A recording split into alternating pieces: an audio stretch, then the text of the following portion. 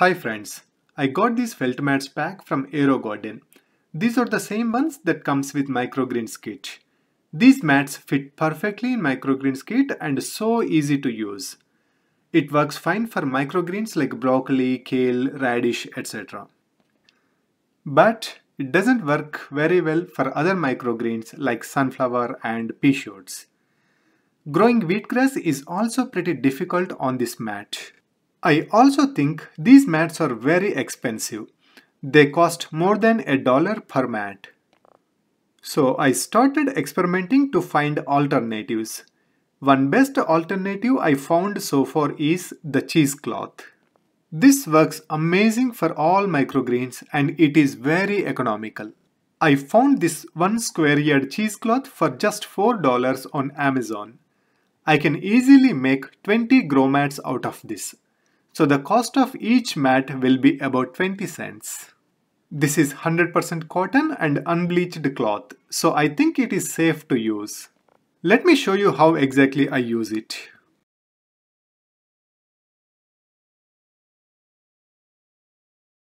Just to make it easier, instead of cutting the exact mats like felt mats, I will cut one piece that goes onto both trays.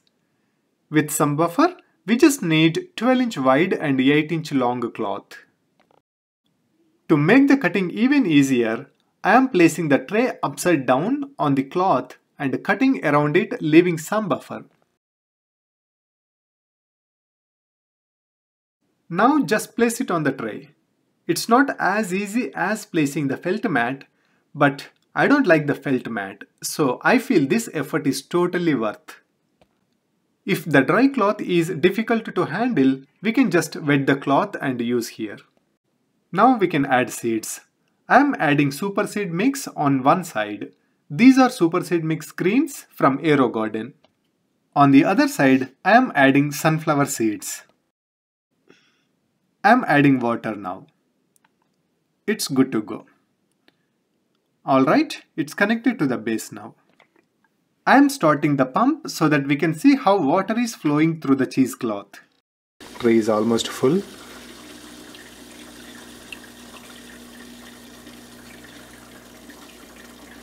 Right, we can see the water is going.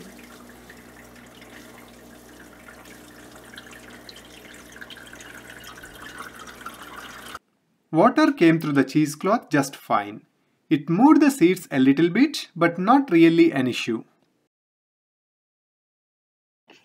Placing the domes now.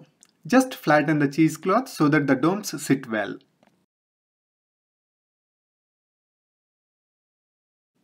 It's day 1. Seeds sprouted very well. 70 to 80% of the seeds already germinated. Some seeds developing leaves as well. On the other side, sunflower seeds also doing well with germination. Day 2. Microgreens are coming very nice with beautiful leaves. Sunflower seeds also doing fine. I see few seeds having their roots completely above the cheesecloth. I can easily push the roots down through the cheesecloth, but I don't want to enter that business. So I will leave like this and continue to monitor. Since all the seeds germinated, I don't need the domes anymore. So I am keeping it open from now. Fast forward, it's day 6. Microgreens are coming very well. They are nearly 1 inch tall. Very few seeds, maybe 1 out of 50 floating at the top. But this is really negligible. On the other side, sunflower microgreens also doing pretty good. These are half inch to 1 inch tall and ready to consume. Couple of seeds couldn't push the roots and not growing well, but they are very few. Let me lift up the cheesecloth and show you how the roots are doing underneath. This looks wonderful. Pulling few microgreens just to see all together. Overall, cheesecloth is an excellent alternative to felt mat and it is working very well. In fact, I think it is much better than felt mat. I can start harvesting these microgreens now, but I want to continue this up to 10 days to see how cheesecloth works in long run.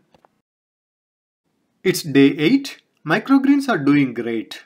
Most of the microgreens have grown above 1 inch. Sunflower microgreens also doing great.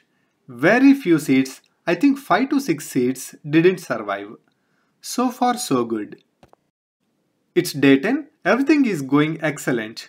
Microgreens are looking great and no issues using cheesecloth. I'm going to try few more alternatives just as backup, but this is my go-to option anytime. I'm going to harvest some microgreens now.